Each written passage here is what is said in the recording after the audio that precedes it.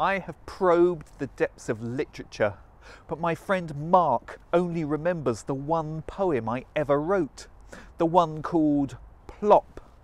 And it goes something like this Plop, plop, plop.